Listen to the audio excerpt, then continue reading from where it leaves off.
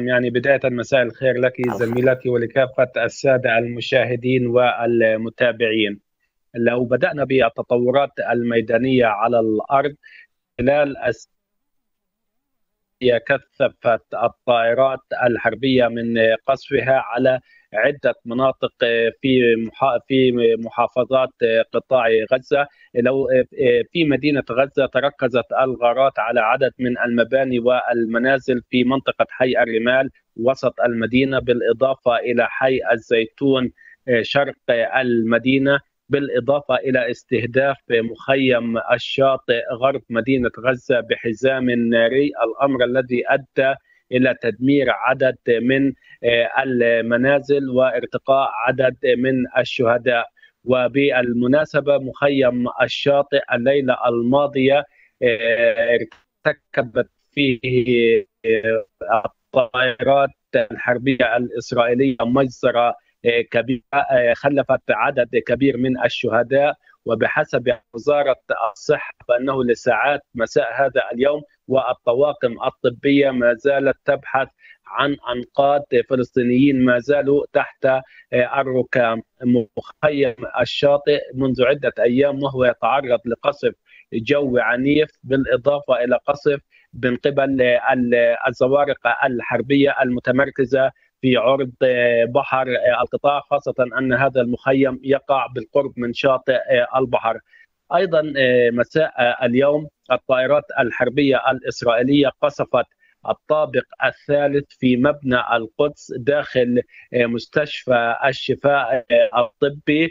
الأمر الذي أدى إلى ارتقاء عدد كبير من النازحين والطواقم الطبية المتواجدين في هذا المبنى بحسب ما أعلن المكتب الإعلامي الحكومي.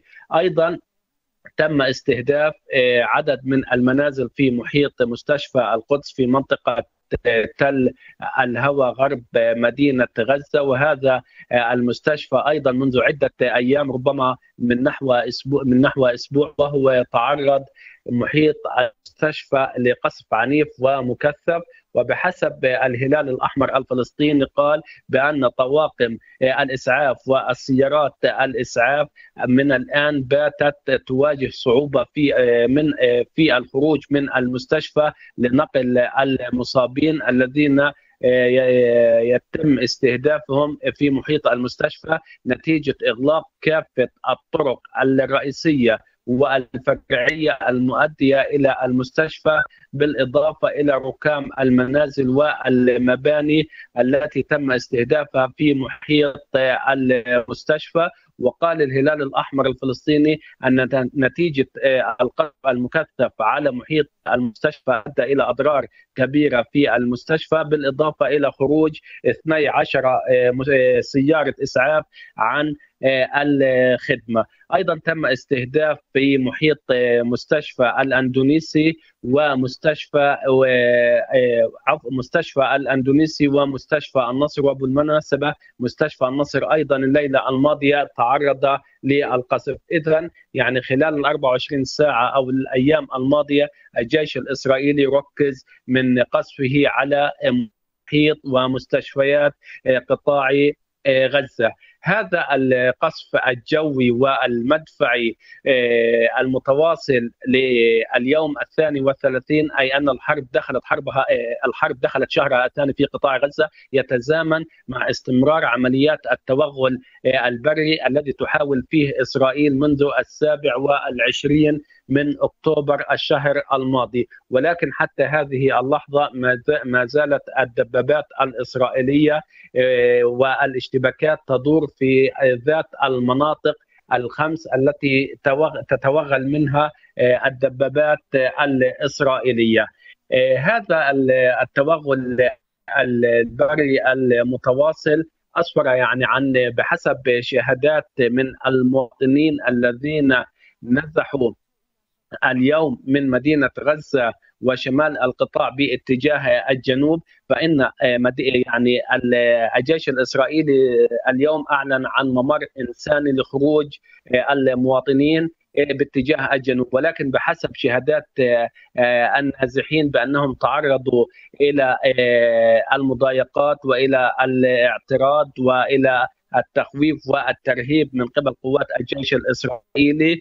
هذا بالإضافة إلى قطعهم مسافة أكثر من 8 كيلومترات مشيا على الأقدام نتيجة منع آه، السيارات من الخروج من مدينة غزة. ومدينة غزة يعني محاصرة منذ عدة أيام لا يستطيع أحد الدخول أو الخروج إليها. بالإضافة إلى سيطرة الجيش الإسرائيلي على شارع آه، الرشيد وهو الشارع الساحلي آه، القريب من البحر كل هذه التطورات الميدانية نعم. والعسكرية تتز...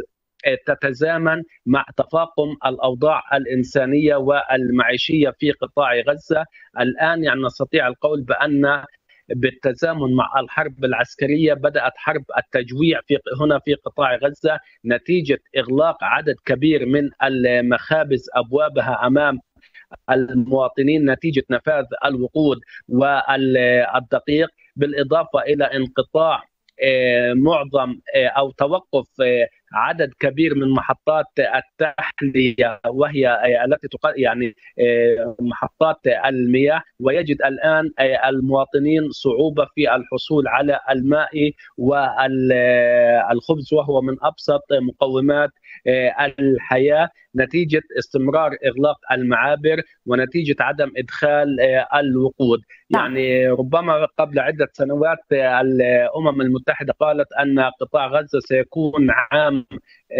2020 غير قابل للحياة اليوم في عام 2023 أصبحت الحياة معدومة في قطاع غزة نتيجة نفاذ كافة المواد الغذائية، نتيجة نفاذ الأدوية والمستهلكات الطبية. الآن الفلسطينيون هنا في قطاع غزة من بقي منهم على قيد الحياة أصبح في حرب من مع نفسه من أجل توفير قوت يومه له ولأطفاله. ولا نستطيع قوت يومه بمعنى وإنما بدأ الفلسطينيون يبحثون فقط عن رغيف من الخبز وربما يصطف الفلسطيني هنا في قطاع غزة أمام المخبز لعدة ساعات ولكنه عندما يقترب من آه، إلى باب المخبز يجد أن الخبز قد نفذ نعم. فيكون قد أمضى أكثر من عشر ساعات دون الحصول على ربطه آه، الخبز نعم هذا عمل. بالإضافة يأتي أيضا آه، إضافة بتفاقم الأوضاع الإنسانية والمعيشية هناك انهيار كامل للمنظومة الصحية التي خرجت أكثر من 16 مستشفى عن الخدمة بالإضافة إلى خروج أكثر من 30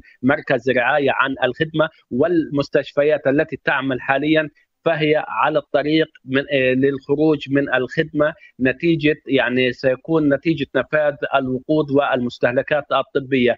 هنا المستشفيات التي تعمل آه، زاد عليه آه، زادت زاد عليها العبء والحمل نتيجة استقبالها لجرحى من محافظات خارج يعني نستطيع القول بأنه لو تحدثنا عن مدينة غزة عدد من المستشفيات في مدينة غزة أغلقت أبوابها وأبات تحويل المصابين فقط إلى مجمع الشفاء الطبي، الآن مجمع الشفاء الطبي وهو الآن يعمل بخطة طوارئ على الوقود الموجود آه، في في مستودعات المستشفى ومهدد بالتوقف في أي آه، لحظة مستشفى الشفاء، آه، هنا في في مدينة خان يونس أيضا مستشفى ناصر بات يستقبل من آه، عدة يعني من كافة المحافظة لأن آه، هناك مستشفى في المنطقة الشرقية لمدينة آه، خان يونس قد أغلق أبوابه بالإضافة إلى مستشفيات خاصة كانت تساعد في استقبال الجرحى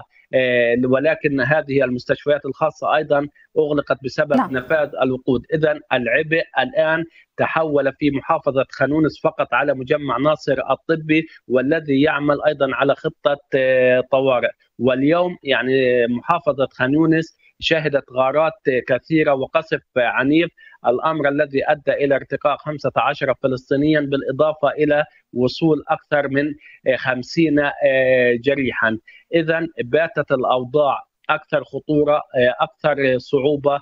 كل ذلك وكل هذه الأحداث العسكرية والإنسانية والمعيشية المتدهورة تأتي كما يقول الفلسطينيون في ظل صمت دولي. ورغم الحديث عن الجهود الدولية والاجتماعات من أجل التوصل لوقف إطلاق نار أو التوصل إلى هدنة إنسانية كل ذلك حتى هذه اللحظة لم يسفر عن صحيح. عن جديد بل أشكرك. إسرائيل نعم عامر أشكرك اسرائيل أشكرك جزيل نعم الشكر جميل. لكل هذه المعلومات من غزة مراسل اليوم عامر الفرة